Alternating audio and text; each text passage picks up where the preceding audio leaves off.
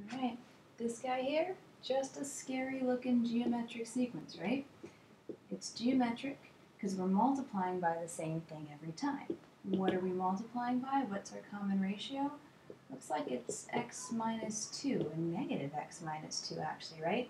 1 times negative x minus 2 times another negative x minus 2, and so on.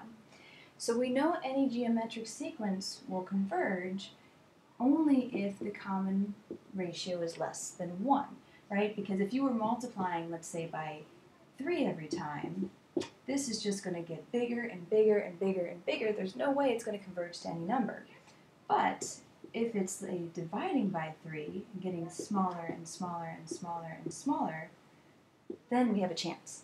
And um, actually, for geometric, we know it's going to converge. So we need to make it, if they want the x's for which this thing is going to converge, we need to make it so that the absolute value of the common ratio is less than 1. Well, we can just dump that uh, negative because it's in the absolute value like that.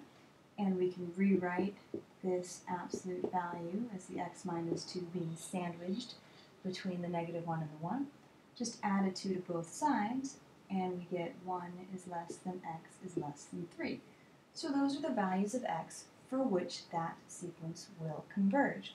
And if you want to test it, um, let's test it, right? On the test you'd be done, but if you're curious about what the heck this thing means, because it looks a little abstract, um, you can pick any number you want between 1 and 3. Fractions are fine, but I don't want to go there, so I'm going to choose a 2. Uh, so if I let x equals 2, then my sequence becomes 1 minus 0 plus, ooh, this is boring one, 0 minus 0 plus, and it'll be zeros all the way. And so if, clearly if you add this sequence together, all of those terms, you're just going to get a 1. And clearly that converges. That infinite sum adds to 1, and that makes sense.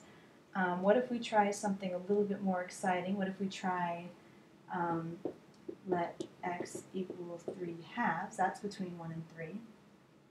So we have 1 minus uh, 3 halves minus 2 is negative 1 half to the first. And then I have negative 1 half to the second and negative 1 half to the third, and so on. So this is 1 plus a half um, minus a fourth uh, see, oh no, plus a fourth. What did I do? Oh, that was supposed to be minus. So this is minus minus makes a plus plus squared will be plus, and negative, and then negative will make a plus. So these are all going to be positive, 1 eighth, and so on.